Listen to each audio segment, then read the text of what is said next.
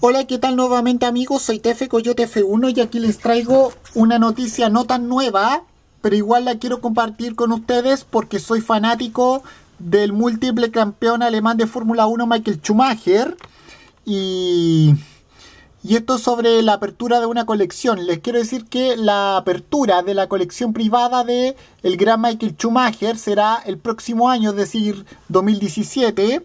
Incluirá... Eh, Incluirá kartings, autos de Fórmula 1 y trofeos que ha conseguido el famoso heptacampeón de Fórmula 1. Y bueno, eh, como sabemos, la colección privada de Fórmula 1 de ex campeón de el ex campeón eh, Michael Schumacher va a quedar abierta al público permanentemente en la ciudad de Colonia, cerca de eh, su pueblo natal, Kerpen antes de finales del próximo año, antes de finales del 2017, en señales de agradecimiento a los eh, seguidores del famoso deportista alemán, anunció eh, Sabin Kem, eh, la, la, manager de ex campeón, y este ese jueves en Berlín y, y además eh,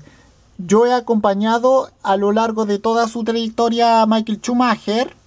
Eh, después de casi tres años, después de casi tres años eh, de sufrir un grave accidente en esquí, que, que casi lo tuvo, que casi lo tuvo al borde de la muerte.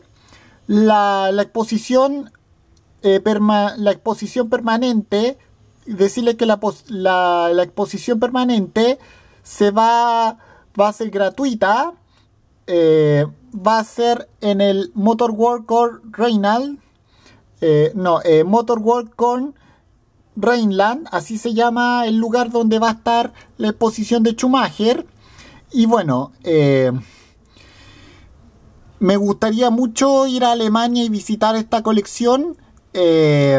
Yo soy muy fanático de Michael Schumacher eh, y, en este momento tan difícil eh, le deseo suerte a la familia, eh, le deseo mucha fuerza a su familia como fanático de este gran piloto alemán.